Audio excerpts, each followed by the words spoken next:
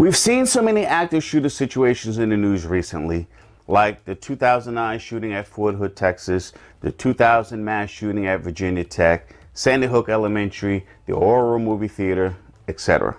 All of these are clear examples of an active shooter situation.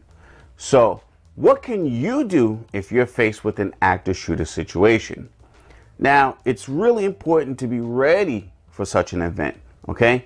You should get into the habit of identifying potential escape routes and please have a plan in mind, even if you're just going out for the night, like going out to dinner or catching the latest movie. So, in the event of a shooting at your location, you must quickly determine the most reasonable way to protect your own life by determining what the best option is for you, and that's either to evacuate or to hide.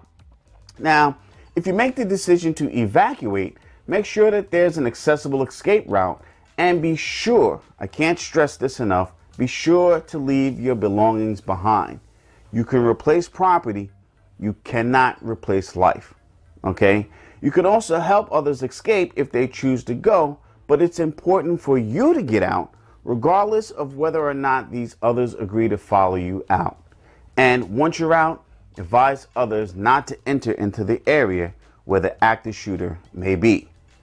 Now, if evacuation is not the best option for you, then you need to find a safe place to hide where the shooter is less likely to find you.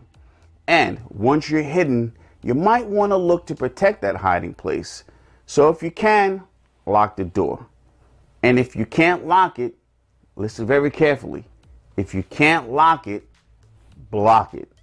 Block the door with heavy furniture or any other large items such as a desk or a cabinet. And one important tip when you're hiding, make sure you silence your phone. A ringing phone or vibrating one can give away your hiding spot easily. And as a last resort, guys, if you can't run or hide, then fight. Do this only when your life is in imminent danger, okay? Attempt to disrupt and or incapacitate the active shooter by acting as aggressively as possible against him. Use anything you can as a weapon and fight. Fight for your life.